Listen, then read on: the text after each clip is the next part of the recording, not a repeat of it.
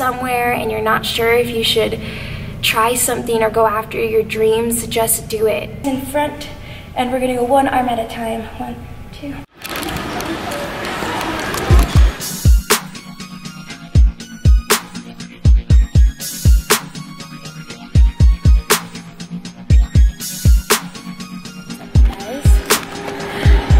Welcome back to my channel. I just have foundation on, so if I look tired, that is why. Um, I'm currently at 24 Hour Fitness, and this was my very first personal trainer job, so it feels very weird. It's like so many memories. Um, yeah, it's gonna be fun. I came to this gym because the gym that I normally go to is closed right now, so this gym is open later. I'm excited. I only have like about an hour, so let's get started.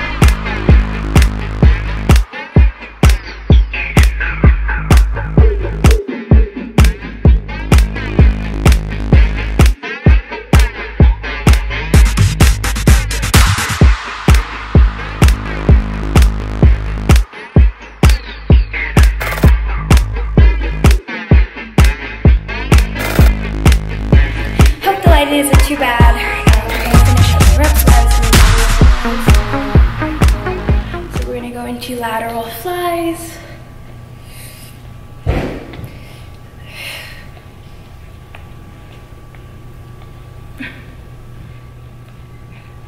And then into front raises.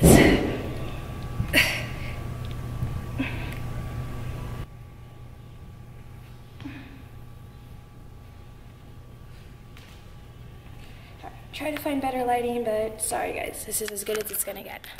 And this lighting sucks. Okay, good enough. Starting with W curls.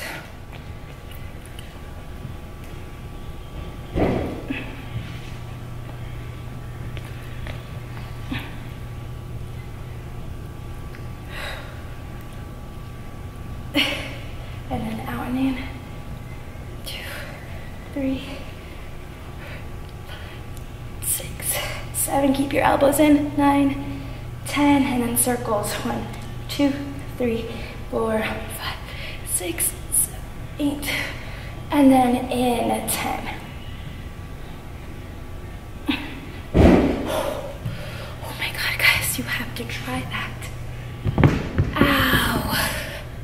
Moving on to the next circuit, guys. Hands in front, and we're gonna go one arm at a time. One, two, three, four. Keep your belly button pulled in, chest up, and your core tight. As soon as we're done with our reps, we're gonna go both at the same time. One, two, three.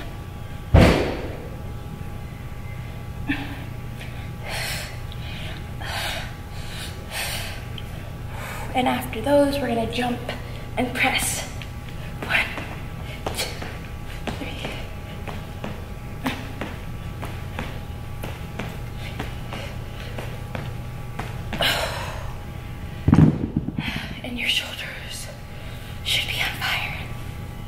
Hopefully the camera is picking up nice and clear and it's focused on me, but I just wanted to get on here and talk very quickly because being here is obviously bringing up some memories and I know I've gotten questions asked like how did I become a personal trainer and this was one of my very first jobs. I was a personal trainer here at 24 Hour Fitness. Very, this was my very first job. So if you are starting out in any in any field that you're in, you have to start somewhere.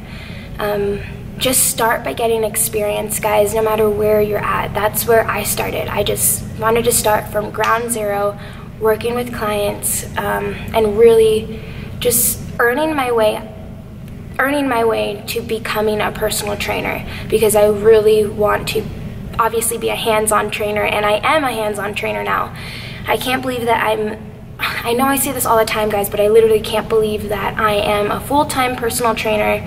Like I'm really doing it and it's fucking awesome. It's so cool. So yeah, this was one of my very first jobs. Um, I did not like it, but I do not regret it. I'm so thankful for this job. One of my very first clients, his name was Carl. He was like 74 years old, such a sweet man, and I'll never forget my first client and my first job. I learned so much here, and I'm so thankful. You just have to step out of your comfort zone and you have to try new things. And if you're stuck somewhere and you're not sure if you should try something or go after your dreams, just do it what scares me the most is regret. Being old and saying, you should have done that. I don't want to be old and say, like, you should have loved yourself more, or you should have done this, you should have done that. That is my worst fear, and I will not do that to myself. So, whatever it takes, I'm to go after my dreams. And yeah, I just felt like telling you guys this since I'm at this gym, and if anyone needs to hear it, I started somewhere, you can start somewhere too. So yeah, thank you guys for tuning in. It was a killer workout and I'm so happy I got my workout in. I've been behind my computer working on the challenge all day, which starts Monday. I'm so excited. Um, thank you guys for joining if you're watching this video. And yeah, thank you guys so much for the support. I'll see you guys in my next YouTube video. I hoped you I hoped you enjoyed. Please let me know what you want to see next. Bye guys. Mwah.